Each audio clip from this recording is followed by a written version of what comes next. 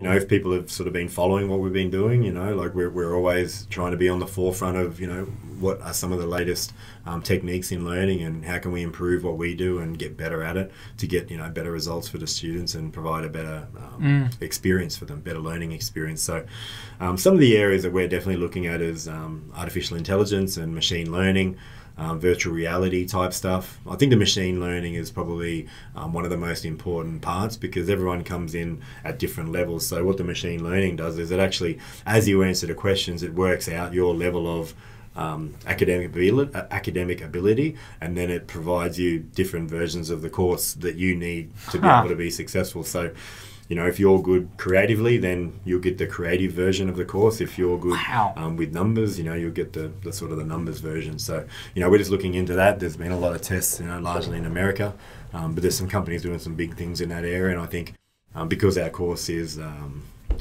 um, moderate to hard, um, and also it has such a range of people who want to do it. I think you know for us to implement that sort of um, stuff is is going to be the best thing for, for our students as well as just from a company perspective.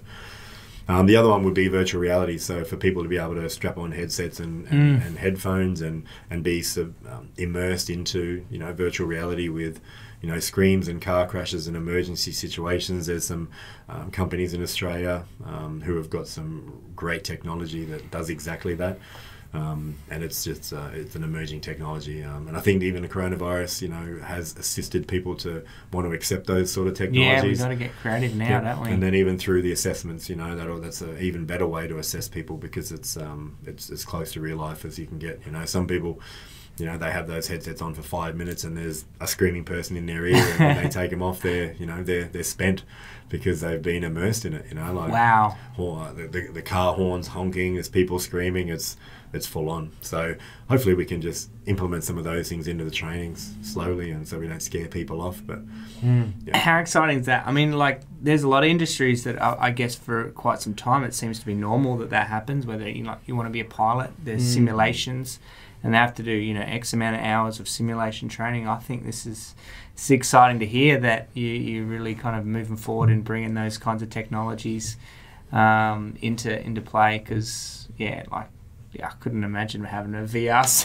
headset on and listening to screaming yeah. children. But I guess that's that's the reality, right? When you're at a scene, you can't you can't kind of choose no. have classical music playing and no, and everything to be, be kind peaceful, yeah, and go you know, the way you want it. Easy, good, yeah. and, and, you know, and you got to really deal. Hard. It's also really hard to, to reenact in a in a scenario, you know, at the practical. So mm. we try our best to try and throw people off in into practical, but you know, you, you can't honk a horn and have people screaming the whole time, or have a car crash, or have someone with you know massive hemorrhaging. You can try right. as much as you can, but you know, oh. virtual reality, you can see it and, and hear it. I'm sure, like, if you needed someone with with uh, some serious kind of cognitive impairment to come along. I'm sure one of us could oh, come along and sure. you know put our hands up or you know you know. Absolutely. But you don't want that under you don't want that. Uh, and and I guess it's another level of bringing the learning to people particularly the practical because you know that at this point in time has to be sort of face to face but um, if you can kind of